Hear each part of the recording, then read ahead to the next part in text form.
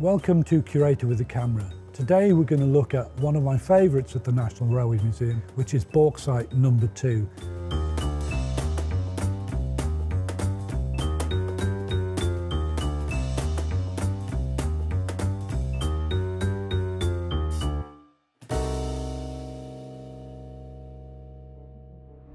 So this is bauxite number two, the little tank engine that sat tucked in the corner of the Railway Museum in amongst all these glamorous, large, mostly express passenger locomotives.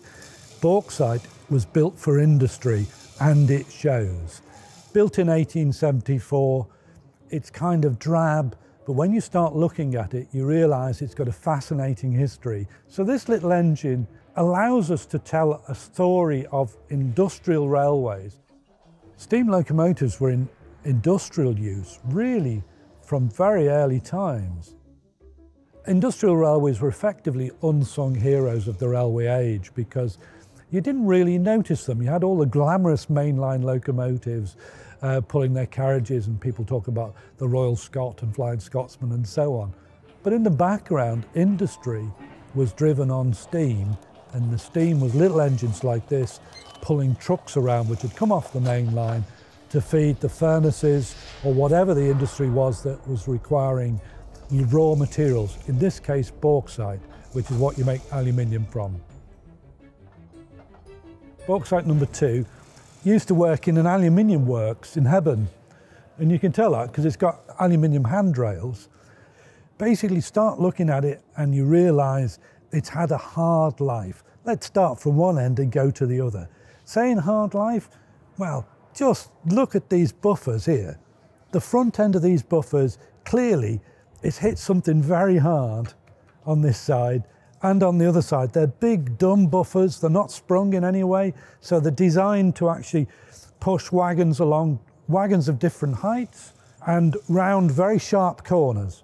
And then when we look at the, the chimney, for example, and here's the chimney, now look a little bit closer at the bottom of the chimney and it's clearly been repaired. You see the way these plates are, it's clearly been repaired. They haven't bothered to replace it with a new one. They've just told the blacksmith, can you fix it for us? And of course he has, he's fixed it for them. It's got a little um, front lamp bracket. The front lamp bracket there is, is fitted so that you can go onto the exchange sidings and put on a northeastern lamp because Hebburn you know, is on the Northeastern Railway at the time. And, you know, it would have gone into the exchange sidings with bauxite, collecting bauxite to go to the smelting works. The front of the smoke box itself, again, it's got dents in it. Um, just showing the kind of hard work this machine has done in its life. As you go down the engine, you realise bauxite number two is a very crude industrial machine. When you look at it, no frills. I ain't kidding, no frills, because let's look at the, the wheels that drive the engine. I mean, this one down here is fine, but all it's got is a sand pipe down there. So it's got a sander that's producing sand to make the wheels grip. But there's no brake attachment to the front wheels. There's only brakes on the back wheels. Down here, there's the brake pads at the back. So it's only braked on the back wheels.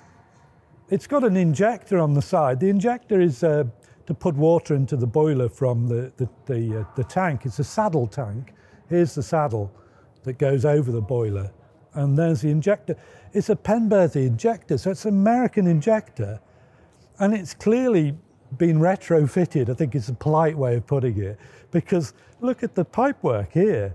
It's, it's like um, kind of industrial plumbing, really, that's kind of been mashed up to make it work. Um, and only this bit is brass. This, this is clearly steel. The only thing on it that's really decorative, nicely decorative, is the works plate that tells you who built it, Black Hawthorn and Company in Gateshead, um, which is not really very far away from where it worked, uh, in 1874 and the name looks very faded because all they did was they varnished it. When it went into preservation, to preserve it a bit, they put a bit of varnish on it. So it's got this kind of crazing from the varnish along the top there, which means that with further conservation, you could bring back its original colours, which is quite unusual as well. So it clearly has not been repainted for a very, very long time. So we've had a look at the outside of this little locomotive. Let's have a quick look inside the, uh, the cab of the locomotive. It's only small, so I'll squeeze my way in there and try and show you what there is to see.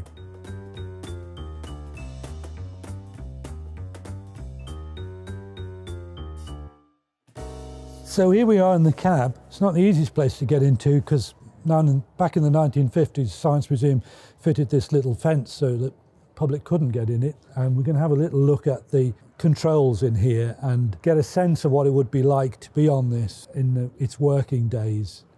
So the controls on this are very simple um, as steam engines go. You've just got your reverser here, which is you know forward and reverse, and you can pull it into mid gear if you want to stop. And you've got your regulator here, which is puts steam from the boiler into the um, into the cylinders. So that's faster and slower, really. And then you've got a gauge glass here, which is designed to show you how much water there is in the boiler. You've got a um, pressure gauge here, it shows you how much steam you've got in the boiler. You've got your, your whistle uh, here, and you've got a handbrake here. That's all you've got, a handbrake. So you, to stop it, you know, you can pull it into reverse or you can wind on the handbrake. Probably you'd be running with the handbrake just slightly wound on so that it's rubbing just a bit, so it's very easy to stop by just pulling it on. Behind the handbrake, you've got a spare um, shunting pole that's down there. Shunting poles were really quite important. They saved lives really on our three link system uh, because it meant you didn't need to get between the buffers to unhook a, a wagon. You've got this plate at the back here, which you can see, which enables you to, if you take the plate off, it, it enables you to get uh, fire irons into the fire if you need to rake the fire around. It also enables you to run with a with an old coal wagon attached, where you've taken the the end of the coal wagon off, so you can use it as like a locomotive tender. Um, there's the the firebox here um, with the firehole doors. The fireman would just keep shoveling coal all day, though it's quite possible it was just the driver did it, basically. The driver drove it and fired it. And then out here, when you look out here, you can see uh, along the boiler, there's the, the filler for the, the tank on top of the boiler. It's got like a dustbin lid on it, really. It's very crude almost the only decoration is that chimney with its kind of nice cowling on it. And here's the safety valves on top of the boiler. Nothing is lagged on this. There's no, no tape of any kind. Um, and there's the sprung for the safety valves. So it's a very, very simple machine. But if it's pouring with rain, which of course it sometimes does in the Newcastle area, you can pop inside the cab and stay warm and dry. But other than that, there's no sophistication to it. The, there's no wood on the floor. There's nothing on the ceiling. Um, it's full of hard edges. So beware, be careful, because it's not going to help if you hit something hard with a hand or a head. So it's a rough and ready machine, but it's like a lot of Britain uh, in industrial times, rough and ready, on the railways, got the job done. So what you stood in front of is a representative of all the industrial locomotives there ever were, thousands of them one stage in the UK, and it shows that hard-working side of railways in industry that's often forgotten. Thanks for watching and if you've enjoyed this episode of Curator with a Camera, leave a like and subscribe to the channel. Thank you.